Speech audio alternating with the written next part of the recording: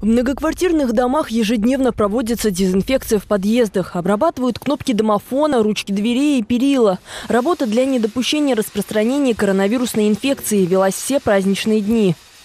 Жители относятся хорошо и благодарны за это, потому что сейчас такая обстановка, и такая обработка очень необходима.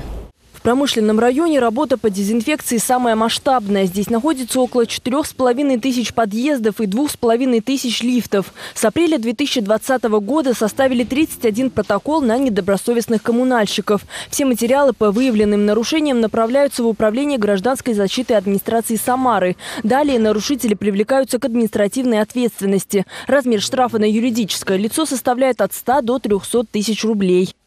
Основная задача на сегодняшний день, чтобы э, прекратить, так сказать, или э, распространение данной инфекции, э, регулярная обработка – это сейчас жизненно необходимый фактор, который с нашей стороны рекомендован всем управляющим организациям. Тщательную дезинфекцию ведут во всех районах города. За качество и своевременность санитарной обработки в многоквартирных домах отвечают управляющие компании, ТСЖ и ЖСК. Мария Елчан, Григорий Плешаков. События.